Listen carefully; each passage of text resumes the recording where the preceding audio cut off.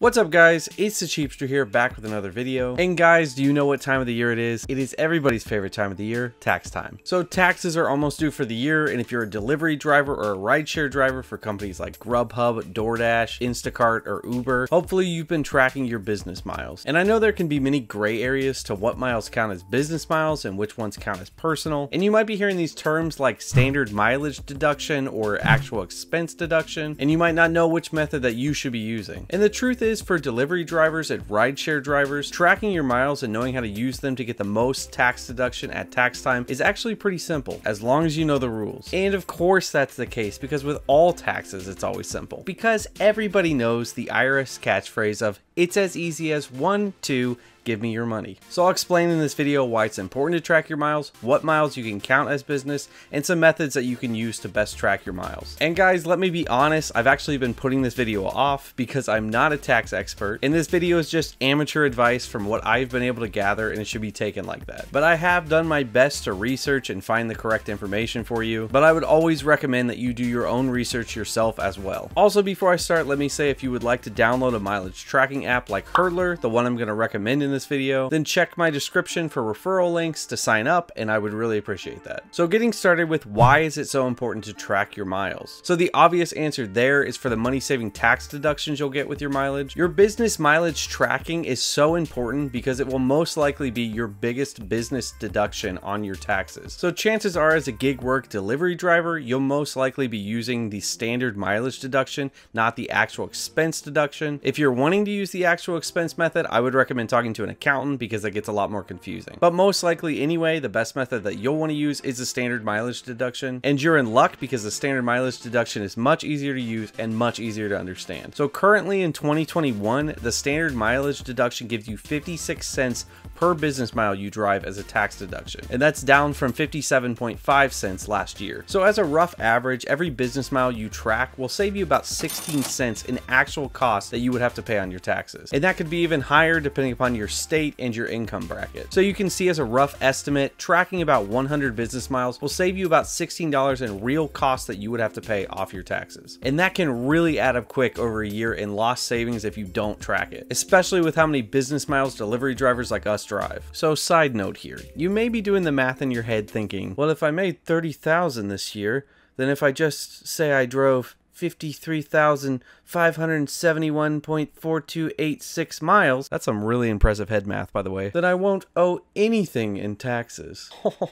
Don't do this. This is a for sure way to get yourself audited, which will not be a fun experience and will for sure lead to you paying hefty fines on top of the tax you already owe and could possibly even end you up in prison. So just making up mileage to get out of paying taxes is a very bad idea. So do not do this. So now that you know what might happen in the case of an audit, you might be wanting to take this mileage tracking thing more serious than ever. And let me just say you don't need to be scared about this if you're honestly tracking your miles and trying to do it correctly. Even if you did make a mistake, in most cases cases, the IRS is not going to haul you off to jail if they can see that you were honestly trying to track it correctly and just mixed up a few things. Oh, uh, yeah, looks like you claimed two extra miles here than you should have back in July. Oh, yeah, I must have just mixed up the thing. That's it, you're going away for a long time, bucko. Wait, no, I have a YouTube channel to run. So, keeping a simple log to show the IRS in case of an audit will protect you from fines and imprisonment as long as it's done correctly. Also, not to mention, tracking your miles can help you personally understand your earnings and profit. It's a good idea to weigh the cost of the offers you take take to the miles you have to drive to get a good understanding of which orders were better to take to help you make the most profit. This can also help you estimate your actual profit better so that you can account for gas costs and wear and tear on your vehicle. An important side note here is that you also need to know your personal miles driven throughout the year as well as your total miles driven throughout the year. The easiest way to do this is just to check your odometer reading at the beginning of the year and then check it at the end and take the difference for the total. Then once you have the total, just make sure you track all your business miles and subtract that from the total to get your personal miles. You don't need to worry about tracking all your personal miles as long as you make sure that you track all your business miles and get the total miles driven throughout the year. So now that you know why it's important to track your business miles as a delivery driver or rideshare, let's get into what you can count as business miles and what you can't. So this could get a little bit confusing, but let me first start off with what miles for sure count as business miles for tax deductions. So anytime that you have the food or item or passenger in your car and you're driving the food or the person to their destination for sure counts as a business mile. And that's assuming you aren't running any weird personal errands along the way. So second, anytime that you receive an order or a pickup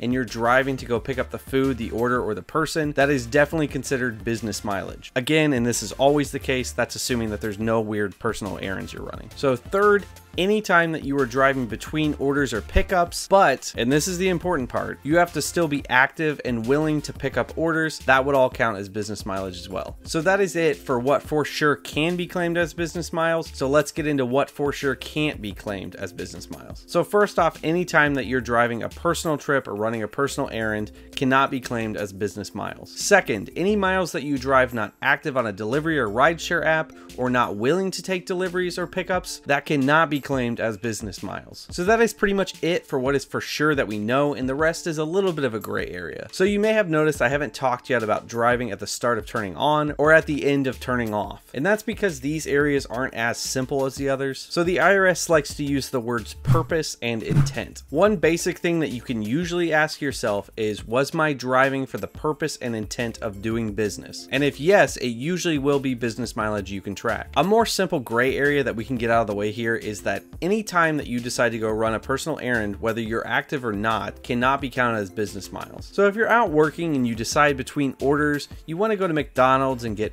100 spicy McNuggets to try to eat yourself. That drive between where you were and to McDonald's would not count as business miles. So the one main gray area that causes confusion that I would say I myself didn't even completely know until doing this video is that say you like to work in an area five miles away. So you drive to that area and then you turn on the app to take some orders. That mileage that you drove before you turned on the app would be considered commuting. And commuting does not count as business miles. And the reason here is like what I said before, when you left, you were not active and willing to accept orders, so those miles cannot be counted as business miles. The purpose and intent for those five miles was not to do business. Now, in that same scenario, if you turned on the app at home before you drove the five miles and you were willing and able to accept any good order that might come in during that time, that would be considered business mileage. But of course, how the IRS would know the difference between the two in an audit would be pretty tricky. But it is always best to play it safe and just follow the rules. So this same gray area issue applies to when you're coming home from working if you quit being active on the app, or if your shift ends so you're unable to take more orders as you drive home, you will not be able to claim those miles as business miles. But if you are still active and willing and able to accept a good order that might come in that you would normally accept on your drive home, then those can be counted as business miles. Now, in my opinion, I don't see it as very fair that if an order takes you way out right when your shift ends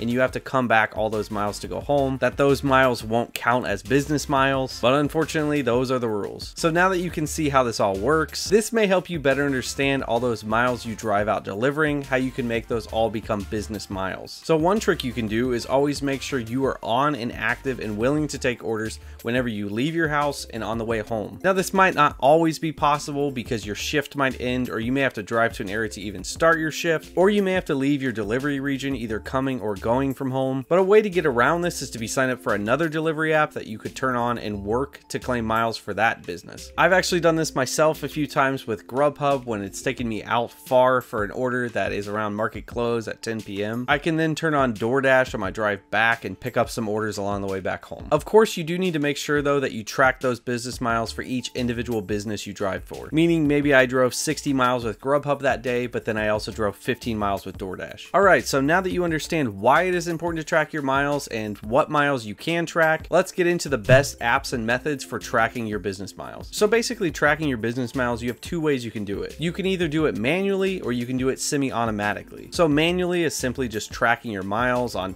piece of paper or tracking them in an Excel document or something like that. And semi-automatically is using an app that will sense when you're driving and it will track all the trips that you take so you can divide them up into business and personal later. So the manual method is actually the method that I use because I find it the easiest just to track all my miles manually on a Google Sheet so that I can access it from everywhere. And because I work for multiple companies, so it gives me columns for each business that I drive for. But I will say after doing this video and looking into different apps, I've actually found the app Hurdlr to be the best option for tracking miles, and that's actually what I'm going to end up switching over to now. So I will talk more about that app in a minute. So the reason I like manual tracking is just because it gives me more control over tracking the miles, so I know that everything got tracked. Assuming I don't miss any miles, which definitely could be easy to do. I also find the manual method easier for tracking different miles for all the companies I work for, especially if I work for more than one app throughout the day, so when I get to the end of the day, I'm not confused on what app that trip was for. And the other positive I have about the manual way is that it doesn't use more battery and data like the semi-automatic way does. The semi-automatic way uses more battery and data because it's always on in the background tracking your GPS. And that's not a huge issue, but for somebody who's using multiple apps and having them track my GPS also, my battery life can go down pretty quickly. But I do have my phone plugged into the car most of the time, so like I said, it's not a huge issue and that's not the main reason I use the manual method. And the semi-automatic method is definitely very popular for people, especially people who may have trouble tracking manually and will forget stuff, or people who just don't want to track the manual way. And a benefit of the semi-automatic way is it will be more specific with your trips because it will have the GPS coordinates of the trips you drove. But just to let you know, you don't need to track every single trip throughout the day individually, unless they're between different apps. But a good rule of thumb is to at least have a daily log of the miles you drove. So two great apps that you can use for free semi-automatic tracking and actually manual tracking also are Hurdlr and Stride. Both of these apps are really great free apps that both do semi-automatic tracking and manual tracking, and they can also do some tax estimating for you, which could be very beneficial. But in my opinion, I would recommend Hurdlr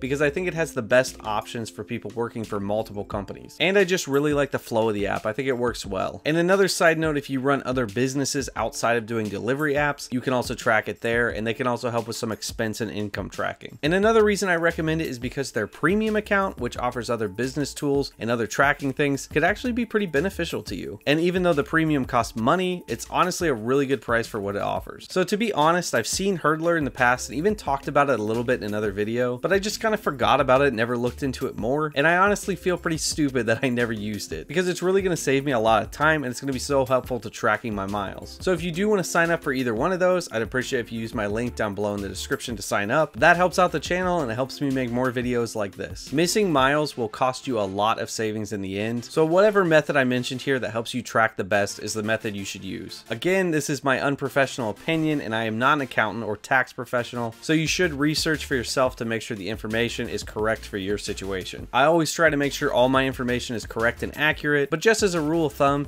you should never take full advice without researching farther from randos on the internet like me, especially when it comes to the big bad IRS coming knocking at your door. Well, they usually send a letter first, but you get the point. So thank you guys so much for watching. I really hope this was helpful. This was a big topic to cover, but hopefully you feel pretty confident now in what miles you can count as business miles and ways that you can track those. If you have any other questions, you can leave a comment down below and I'll do my best to see if I can answer it. But thank you guys so much for watching. If you liked the video, go ahead and do the cheapest thing you can today. Tap that like button. Also subscribe to the channel. Look at how fast we are going around that track. And I will see you guys in the next video, and remember, stay cheap.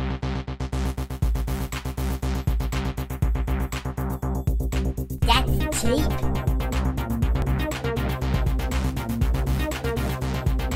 You still haven't subscribed? Oh my god.